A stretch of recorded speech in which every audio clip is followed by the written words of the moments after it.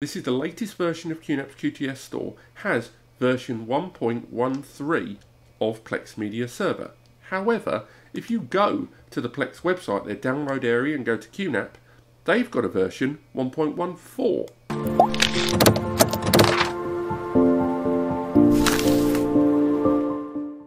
Hello and welcome back and today I want to talk about QNAP and Plex. It's going to be a very very quick video because there's something a lot of you guys aren't quite aware of. I didn't really know about it too much and I've never thought about it but then the more I thought about this particular fact I realised a number of people have probably missed it. Namely, if you've installed Plex on your QNAP NAS chances are, and again this doesn't just go for QNAP, this goes for all NAS vendors and I'll try to do a video for all of them that they don't update their local app centers as much as they should. And consequently, because it's a third party app, the NAS brand, be it QNAP in this case, or Synology, Drobo, WD, or anyone, doesn't really go to excessive lengths to make sure you've got the latest version. So, Plex Media Server on your QNAP NAS, if you right now in the latest version, and this is QTS 4.1.1, this is the latest version of QNAP's QTS store, has version 1.13 of Plex Media Server. However, if you go to the Plex website, their download area, and go to QNAP, they've got a version 1.14, a newer version of this app released in December. And I also know for a fact that right now in February 2019, there is a beta, if you're a Plex Pass holder, of version 1.15 that you can download directly from Plex if you are a Plex Pass subscriber. So, why doesn't the QNAP NAS update Plex Media Server, you know, with the latest version? Well, a lot of that comes down to simple stability across platforms and the fact that it is a third party app. You know, when they do get round to checking these things, or if the application gets sent to them, then they can install these later versions with testing. But as you can see, this version here is from February 2018, and the latest version was released in December 2018. So a big difference and a lot of functionality has been added to Plex in that time. So how do you upgrade to the latest version? Well, there's two ways.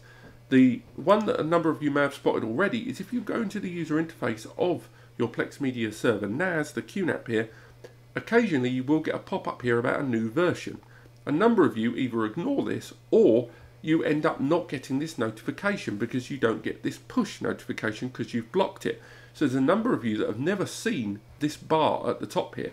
A lot of you just assume that the QNAP NAS, along with its usual updates of all of its apps here, would say there is an update for Plex. And you'll never know there is an update. Do check it out after this video.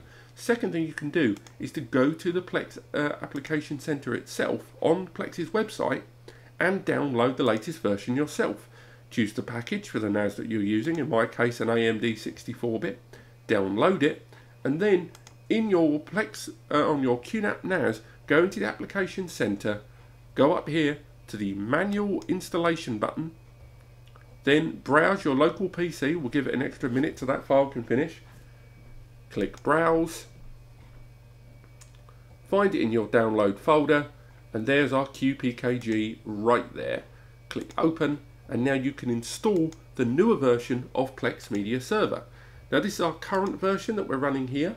And again, I'm not saying this version is basic, it's by no means basic, but there's no denying that this is definitely a more out-of-date version of Plex. And if this is the version of Plex that you've been using all this time, you are several versions behind everyone else. If we zoom out a little bit here, just to get a little bit more on screen, we'll go back to here where this version of Plex is still up installing.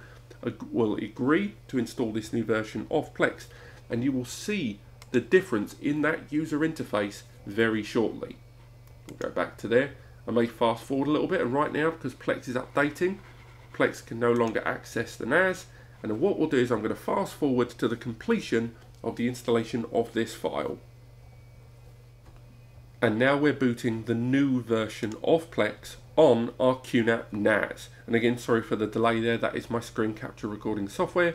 If we go into the Plex Media Server app, we can see new version installed. The newer version 1.14 is the current version, that's the original one there, that's the new one, 1.141. And if we go to the Plex Media Server um, user interface, there's a lot more going for it. Again, if you look at the newer version 1.15 in some of my other videos, you will see a big big difference.